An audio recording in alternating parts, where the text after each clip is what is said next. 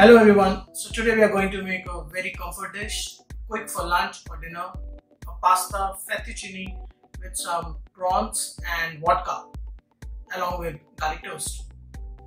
So let's start the prep. We'll start with uh, fettuccine because homemade pasta would take the maximum time.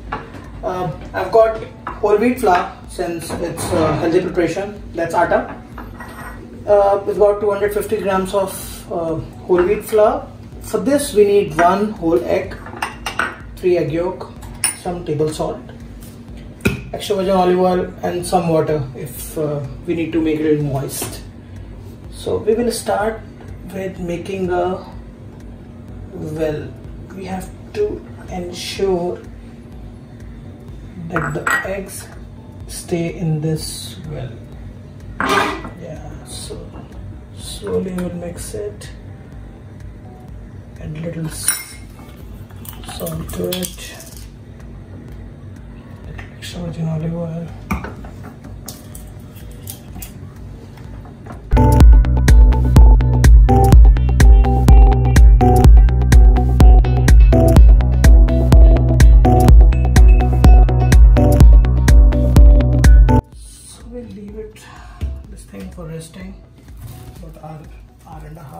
need to wrap it nicely so the dough doesn't go dry. I will check the dough. It should come back slowly. It means we're ready. Now the pasta dough is well rested, so we start rolling it for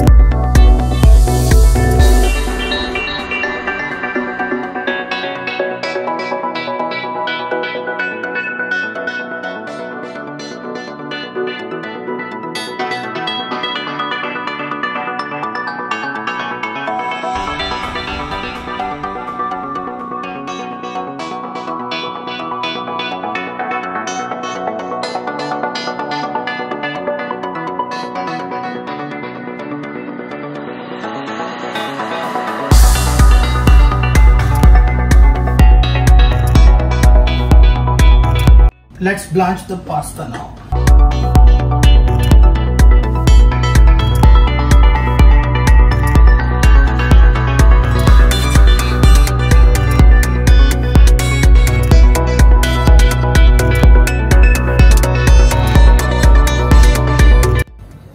The best way of serving pasta is al dente, which is just done, not fully cooked.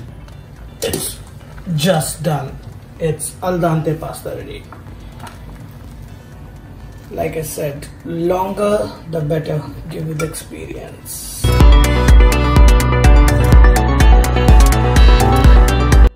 now we will add olive oil.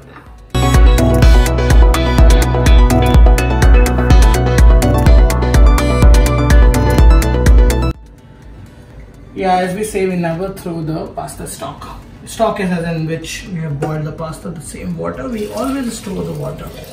This we will use in cooking outstanding flavor.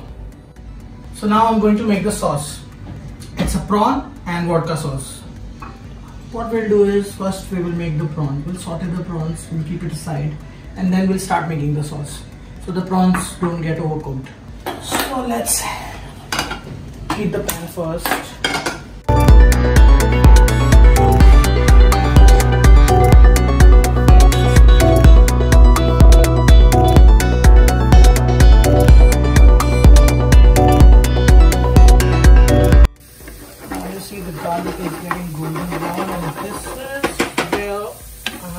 to add these little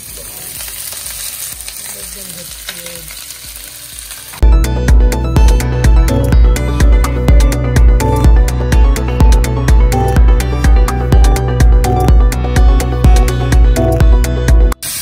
And now we'll take out the prawns. About 70% cooked. We'll take it out.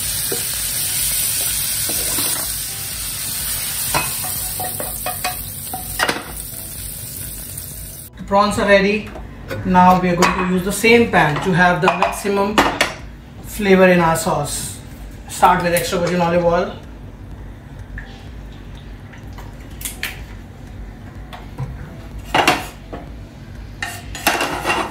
We'll add red onions in this.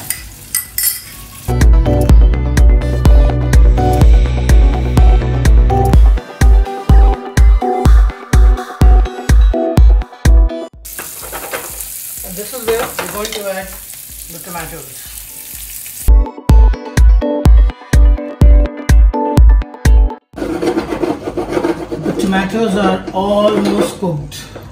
Now I'm going to add some sea salt.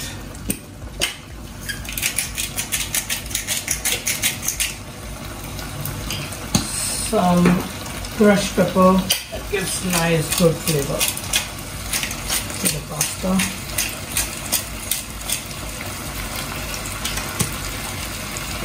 some broccoli. This is already blanched.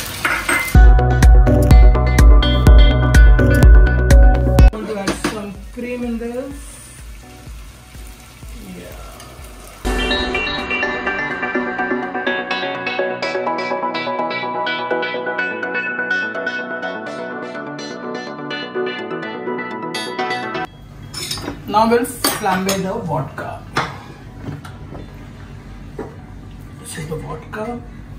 It's always better to cook the alcohol before adding to the sauce. Otherwise, it kills the taste, kills the entire taste of the of the entire preparation.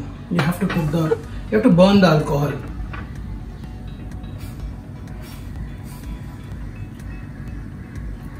See, once the alcohol is burned, it is the flavors which stays.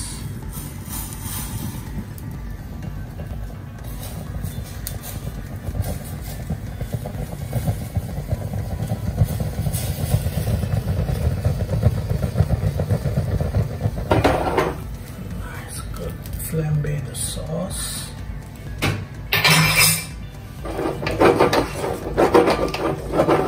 Now we'll add, we'll transfer the sauce in a bigger container so that we can cook the prawns.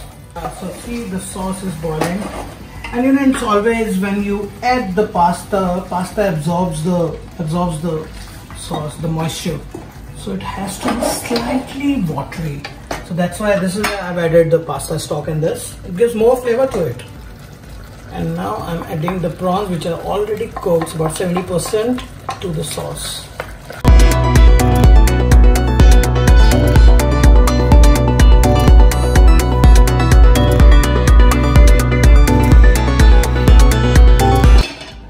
Now we will make the garlic toast. So for the garlic toast we need we need bread, sliced bread, we need butter, we need crushed garlic. So we don't chop the garlic, we always crush the garlic. It gives more flavor and juices in this.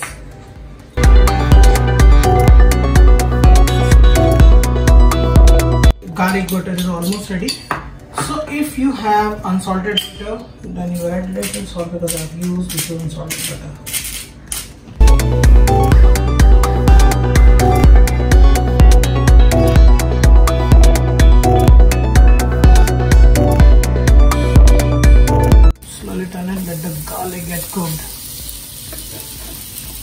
Nice good flavor of garlic butter.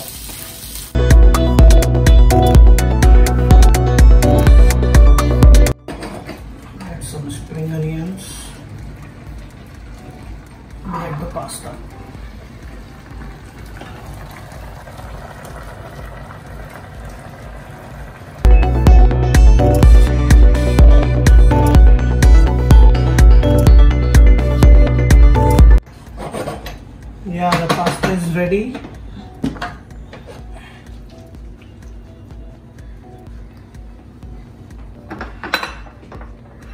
Pasta with garlic toast.